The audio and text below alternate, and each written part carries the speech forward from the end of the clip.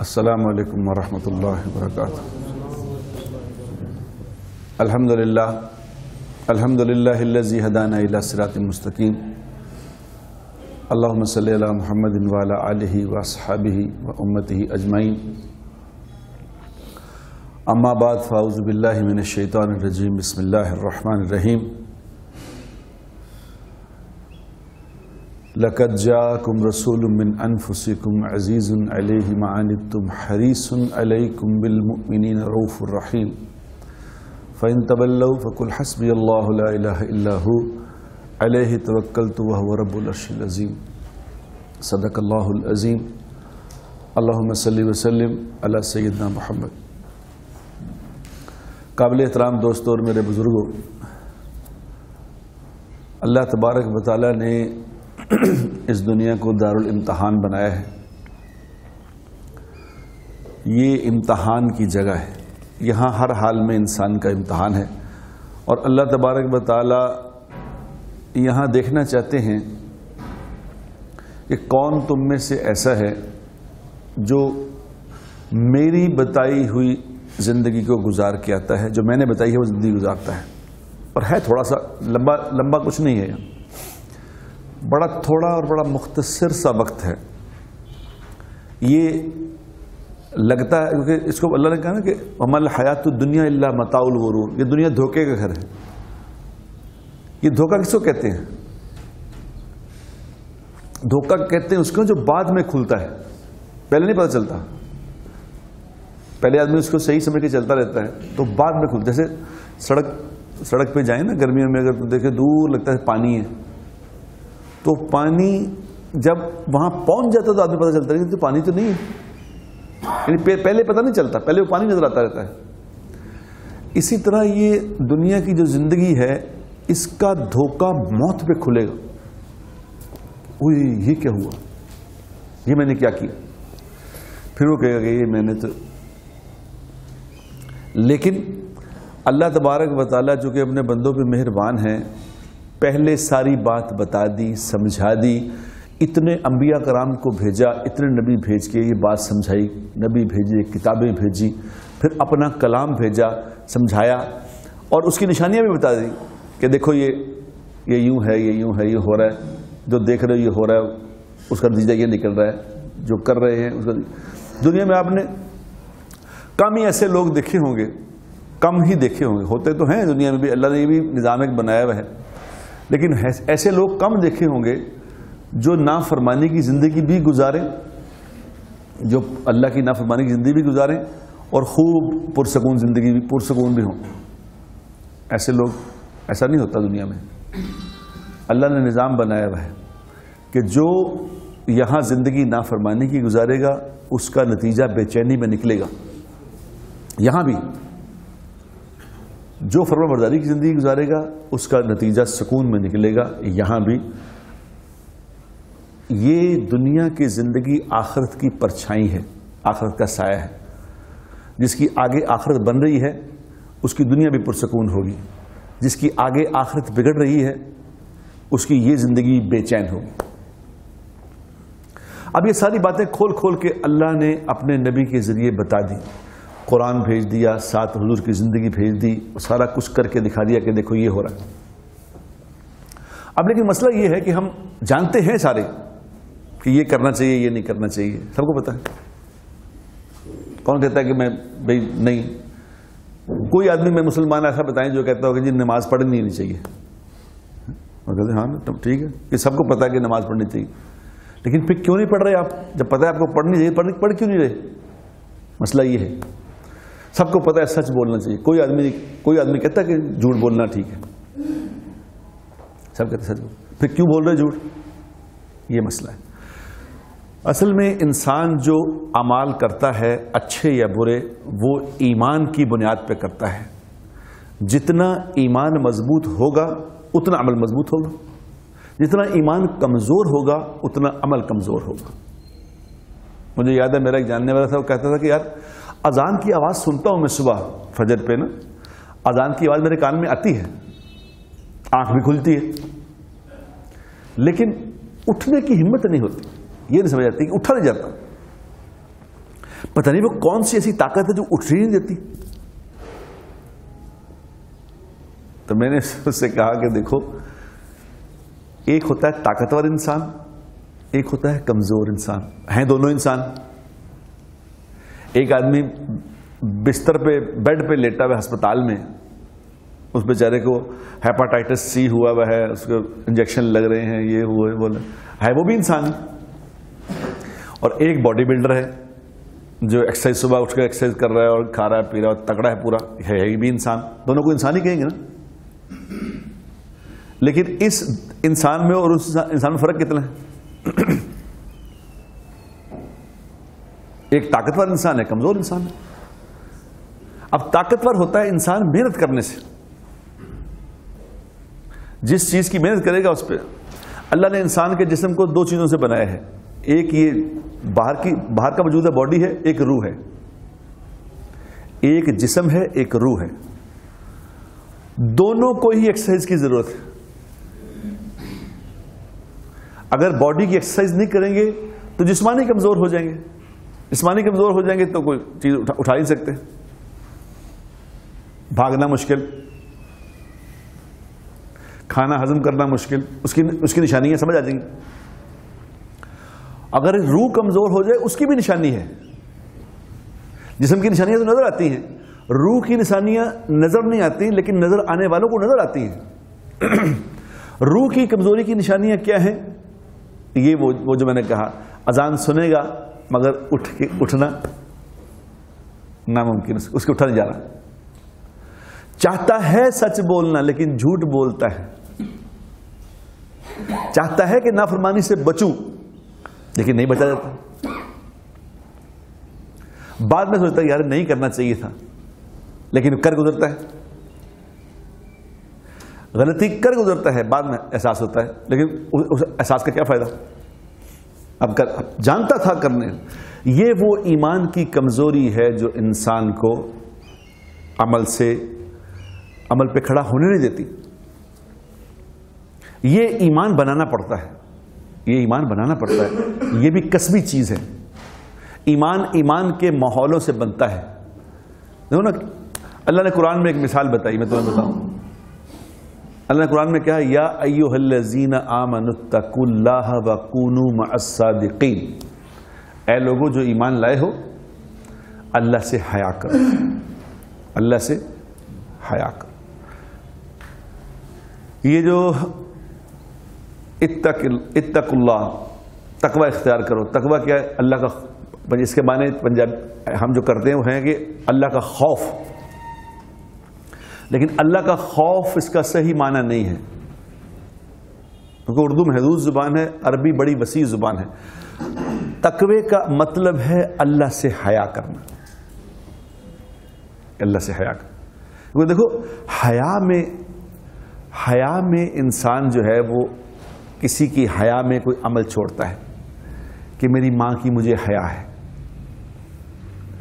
اور جیسے کسی نے مثال دی، اس نے کہا چند لوگ دوست آپس میں بیٹھے تھے، رات کے گیارہ بج گئے تو اس نے کہا ہو مجھے جانا ہے۔ انہوں نے کہا، کیوں، کیا ہوا؟ ابھی تو محفل ابھی تو لگی ہے، تو جانا کہاں ہے؟ ان کہا، نہیں، میری والدہ میری والدہ انتظار کر رہی ہے۔ کہتے ہیں، والدہ کیا ہے؟ سو جائے گی خود ہی؟ انہوں نے کہا، نہیں نہیں، میری ماں ہے۔ انہوں نے تمہاری ماں کہ تمہیں مارے گی؟ کیا کرے گی تمہارا؟ کہتے نہیں نہیں، وہ تو بستر سے بھی اٹھ سکتی بیچاری۔ کہتے پھر؟ کہتے میری ماں ہے۔ مجھے اپنی ماں سے حیا مارتی کہ بیچاری میرا انتظار کرتی رہے گی۔ نہیں نہیں، میں اس سے ایسا نہیں کر سکتا۔ اس کو کہتے ہیں حیا۔ ایک ہوتا ہے خوف۔ اب خوف اور چیز ہے، خوف تو تھانے دار کا ہوتا ہے کہ تھانے دار ایس ایچ او پکڑ لے گا۔ اس کو خوف کہتے ہیں۔ سانپ کا خوف، ڈاکو کا خوف، چور کا، یہ خوف۔ یہ ہے حیا۔ اللہ کا تقوی اختیار کرو کہ اللہ سے حیا کرو کہ وہ ہمارا مالک ہے۔ وہ ہمارا پیدا کرنے والا ہے، ہم پہ رحم کرنے والا ہے، ہماری نافرمانیوں کو درگزر کرنے والا ہے۔ ہماری نافرمانیوں کے باوجود ہمیں کھانا کھلاتا ہے۔ ہماری نافرمانیوں کے باوجود آم کھاتے ہیں تو میٹھا ہی کھاتے ہیں، کڑوا نہیں کرتا۔ اس اللہ سے حیا نہیں کرنی چاہیے۔ کہ اللہ سے حیا یعنی مجھے اللہ سے حیا۔ تو اللہ تعالیٰ نے کہا کہ تم مجھ سے حیا کرو۔ اور دیکھو، سچے لوگوں کو، نیک لوگوں کو اپنا دوست بنایا کرو۔ یہ ایک فارمولہ بتایا اللہ نے، سچے لوگوں کو، نیک لوگوں کو اپنا دوست بناؤ۔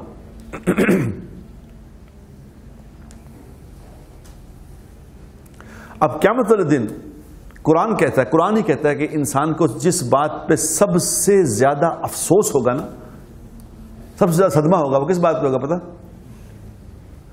وہ اس کو اس بات پہ صدمہ ہوگا قیامت والے دن اس بات پہ پریشانی ہوگی کہ یہ میں نے کیا کیا کہ میں نے اللہ کے نافرمانوں کو اپنا دوست کیوں بنایا؟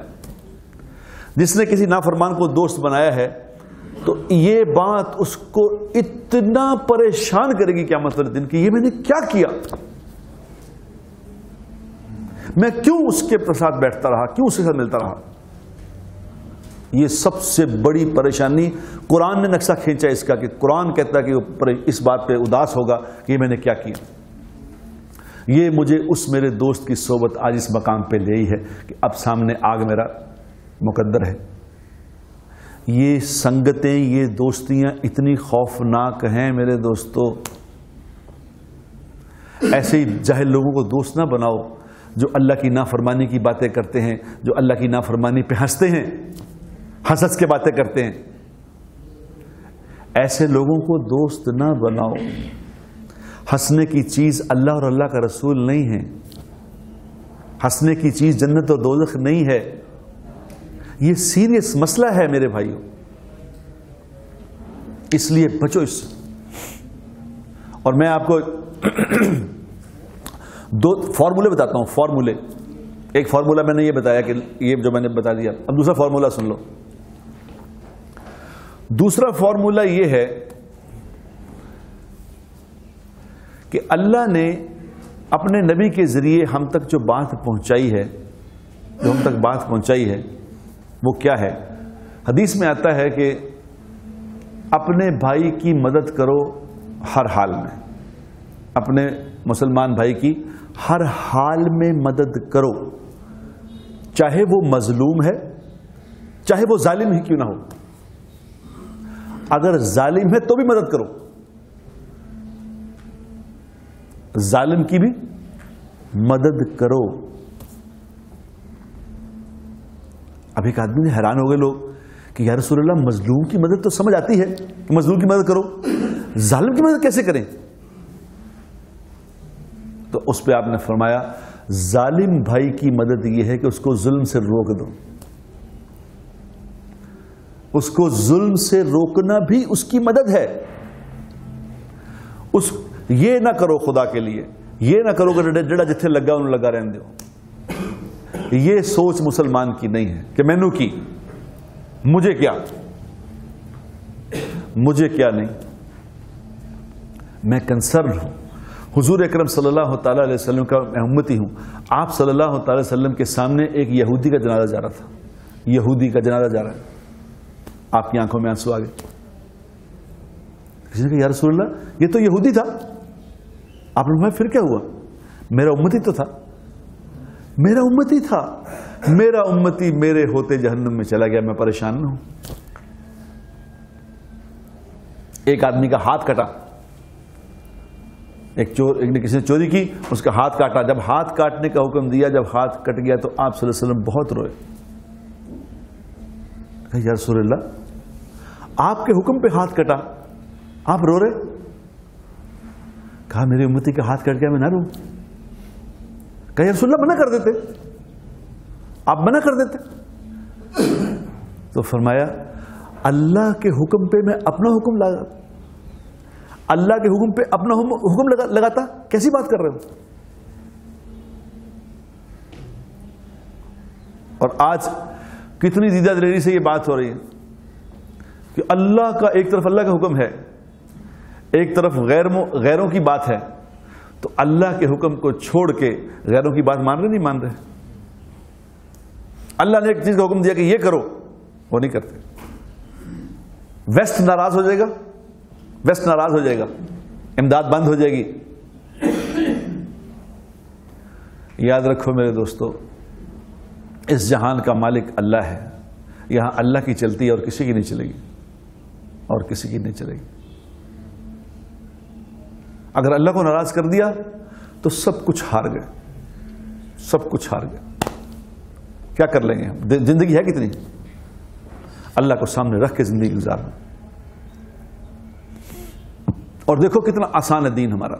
دین کتنا آسان ہے۔ دین کتنا آسان ہے۔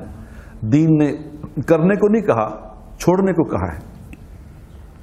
حضور اکرم صلی اللہ علیہ وسلم نے فارمولہ بتایا کہ جو یہ چاہتا ہے، جو یہ چاہتا ہے کہ اللہ کا ولی بن جائے، اللہ کے قریب ہو جائے، تو اسے کیا کرنا ہے؟ اب جیسے مثال کے طور پہ میں آپ کو کہوں کہ جی یہ سارے جو مجمع بیٹھا ہے، یہ اٹھ کے بھاگ کے گیٹ پہ جاؤ جی دیکھو دیکھو پہلے کون ہاتھ لگاتا ہے۔ تو کچھ کچھ تکڑے ہیں، تیز چلے جائیں گے، کچھ آہستہ پہنچیں گے۔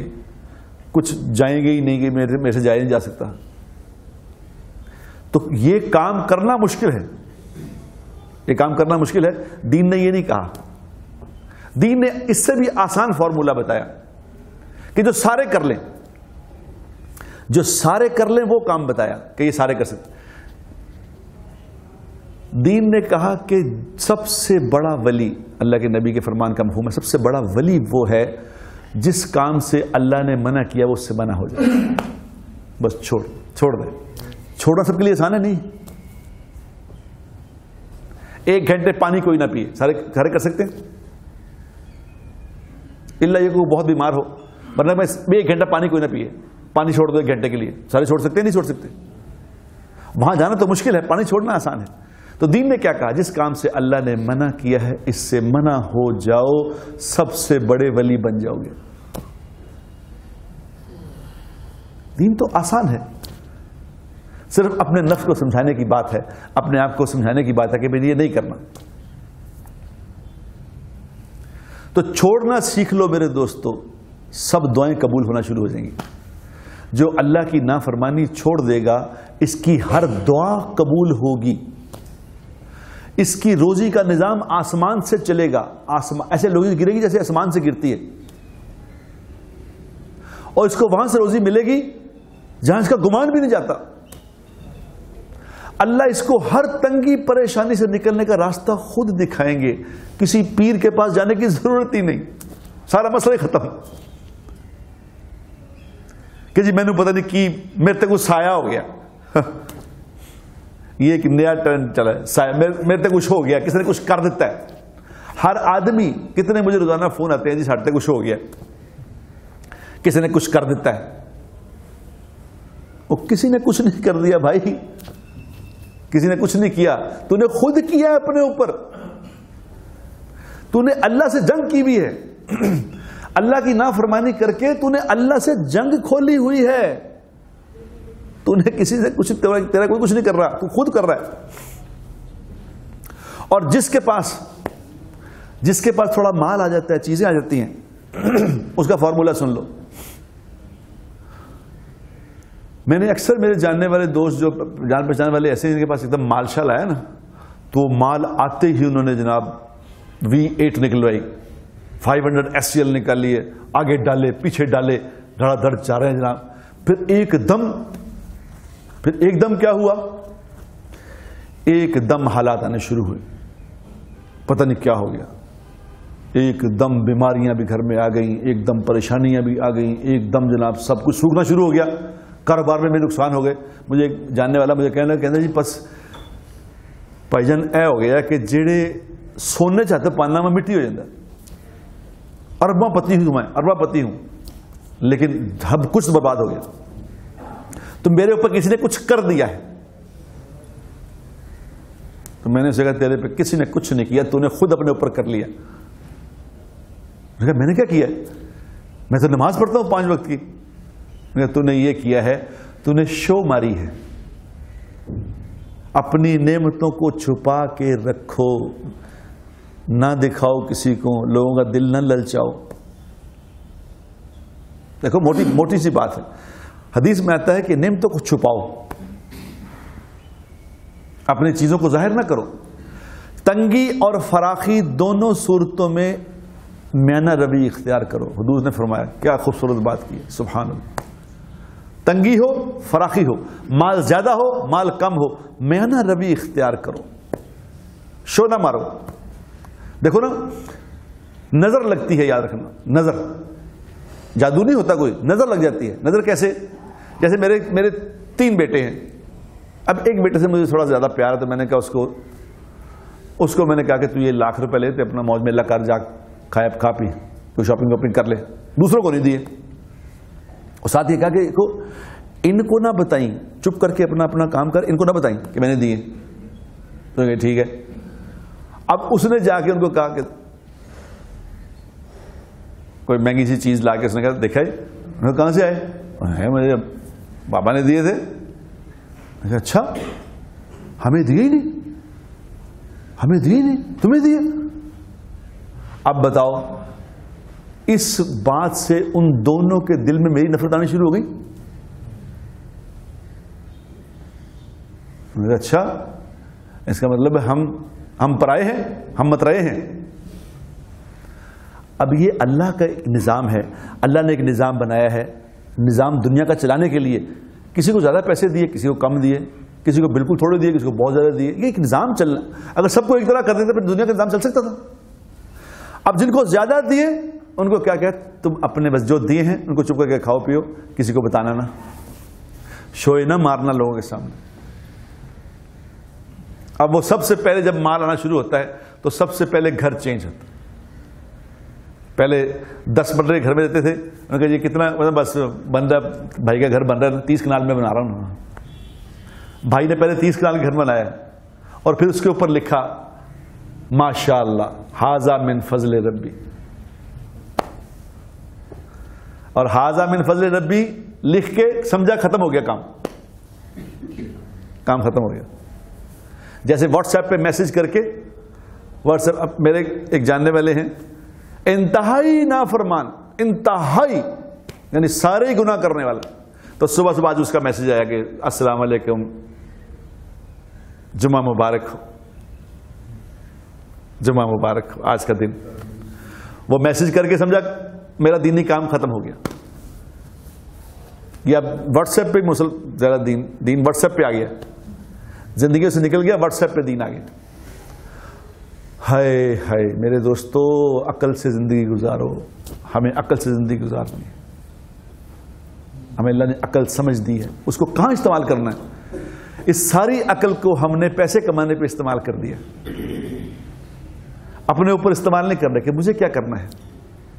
میرے سامنے آگے آخرت آنے والی ہے، میری موت آنے والی ہے، میں اللہ کے سامنے پیش ہونے والا ہوں۔ میں نے ایک زندگی گزارنی ہے، وہ کب سیکھنی ہے؟ مجھے کیا کرنا چاہیے؟ غریب آدمی کو کہا، سوال نہ کری غریب سے کہا، سوال نہ کری ایک آدمی نے کہا نا کہ یا رسول اللہ، مجھے بتائیں، کوئی چھوٹا عمل بتا دیں کہ جنت میں چلا جاؤں۔ آپ نے فرمایا، لوگوں پہ غصے نہ ہوا کر۔ لوگوں پہ غصہ نہ کیا کر۔ کہا جی ٹھیک ہے، کوئی اور بھی بتا دیں، آپ نے فرمایا سوال نہ کرو۔ کسی کو اپنا حال نہ بتاؤ، کسی کے سامنے ہاتھ نہ پھیلاؤ کہ یار بڑے حالات خراب بہانے بہانے نہ بتاؤ اس کو کہ بس یار کی دسیت آنو یہ دل کا سوال ہے، ایسا سوال نہ کرو۔ اللہ کو حیا آتی ہے اس بات سے کہ میرا بندہ میرے علاوہ کسی اور کو بتاتا ہے۔ مجھ سے کہتا بیٹھ کے، کیا میں سننے والا نہیں تھا؟ کیا میں سمیع نہیں تھا؟ کیا میں بصیر نہیں تھا؟ کیا میں اس کی ضرورتیں پوری نہیں کرتا؟ کیوں بتایا کسی اور کو؟ اس لیے حدیث میں آتا ہے کہ اللہ کو اتنا ناپسند آتا ہے، وہ انسان جو سوال کرتا ہے، جو سوال کرتا ہے، اللہ کے نبی نے فرمایا جو سوال کے لیے ہاتھ بڑھاتا ہے، اللہ تبارک و تعالیٰ اس کو موت تک فقیر ہی رکھیں گے۔ یہ فقیر ہی رہے گا۔ اور جو اللہ کے سوا کسی کو نہیں بتائے گا، اللہ کو اپنے اپنی حاجتیں اللہ کو بتائے گا، اللہ اس کا دل غنی کر دیں گے۔ یہ غنی بنے گا۔ یہ اسلام ہے۔ یہ ایک زندگی اللہ نے بتائی ہے کہ یہ زندگیوں گزارو۔ اگر وہ زندگی سیکھ لیتے، اگر وہ زندگی سیکھ لیتے، سیکھ کے گزارتے، ہمارے سارے مسئلے حل ہو جاتے۔ ہمارا مسئلہ یہاں پھنسا ہوا ہے۔ میں آپ کو عجیب بات بتاؤں۔ مجھے اتنا صدمہ ہے کل تین چار پانچ دن سے یقین کرو، میں سچ کہہ رہا ہوں آپ سے۔ وہ اس لڑکے نے جس نے دس بچیوں کا قتل کیا ہے، مجھے اس لڑکے پہ صدمہ ہے کہ اس کا کیا بنے گا۔ وہ بچیاں تو اپنی زندگی اتنی لکھا کے آئی تھی ان کی زندگی اتنی تھی۔ ظلم ہو گیا ان کے ساتھ۔ وہ کیا مطلب دن مظلوم بن کے کھڑی ہوں گی اور بغیر حساب کا جنت میں چلی جائیں گی۔ اس کا کیا بنے گا؟ یہ ہمیشہ کی جہنم میں چلا گیا۔ دنیا میں ذلیل اور رسوا ہو گیا۔ چند دن کی بات تھی، کیا کر لیا؟ کیا کر لیا؟ کیا مزہ کر لیا دنیا میں؟ چند دن گزر گئے۔ اب دنیا میں ذلیل ہو رہا ہے۔ کل قبر میں ذلیل ہوگا، حشر میں ذلیل ہوگا اور ہمیشہ کی آگ اس کا مقدر۔ کیوں ہوا یہ میرے دوستو ایسا؟ کاش ہم اس بات کو سوچنے والے ہوتے۔ آج معاشرے میں بہت تھوڑے لوگ ہیں یہ جو سوچنے والے ہیں۔ ورنہ ہر کوئی کہتا کہ مینو کی؟ میں تو ٹھیک ہوں اگر ایک دوسرے ایک دوسرے کا خیر خی کرنے والے ہوتے تو یہ نوبت نہ آتی۔ یہ یہ حالات پیدا کیے گئے ایسے۔ وزکر فن ذکر تنف المومنین ایک دوسرے کو یاد دہانی کراؤ۔ ایک دوسرے کو خیر کی بات کہو۔ ایک دوسرے کو خیر کی طرف بلاؤ، یہ تمہارے ذمے ہے۔ آج کتنے لوگ اپنے مان سے بتاؤ دوسروں کو خیر کی بات کرنے والے؟ بتاؤ۔ جبکہ کلمے کا یہ تقاضا ہے، کلمے کا تقاضا ہے، جب تم نے لا الہ الا اللہ محمد رسول اللہ پڑھا ہے، تو اس کا مطلب ہے کہ تم دوسروں کے خیر خواہ بن گئے۔ اور ہم خیر خیر کس کو سمجھتے ہیں؟ کہ چند پیسے دے دیے کسی کو۔ جس کے پاس پیسے ہیں وہ کہتا میں بڑے دسترخوان چلانا میرے کئی اسپتال میں میرے دسترخوان چل دینے۔ یہ بھی خیر خائی ہے۔ لیکن خیر خائی یہ جہنم میں چلا گیا، تو بتاؤ یہ روٹی کیا کرے گی اس کا؟ سب سے بڑی خیر خائی وہ ہے جو حضور صلی اللہ علیہ وسلم نے کی ہے۔ آپ صلی اللہ علیہ وسلم نے خیر خائی کی لوگوں کو جہنم سے بچایا کہ جہنم سے بچ جائیں۔ اب یہ ہمارے سامنے آدمی جہنم میں چلا گیا نہیں چلا گیا؟ اور ایسے کئی ہیں۔ یہ ایک تو سامنے آ گیا، ایسے کئی ہیں جو سامنے نہیں۔ لیکن اس کے لیے اس کے لیے کیا محنت ہو رہی ہے؟ میرے دوستو، ہم ذمہ دار ہیں۔ ہم حضور کی امتی ہیں۔ ہمارے ذمے کوئی کام ہے۔ ہم لوگوں کو جہنم سے بچانے کے لیے آئے ہیں۔ جہنم وارث باسل کرنے کے لیے نہیں آئے لوگوں کو جہنم میں دھکیلنے کے لیے آئے جہنم سے بچانے آئے ہیں۔ اور جہنم سے اس وقت تک کوئی انسان نہیں بچ سکتا جب تک کہ اللہ کی نافرمانی نہ چھوڑ دے۔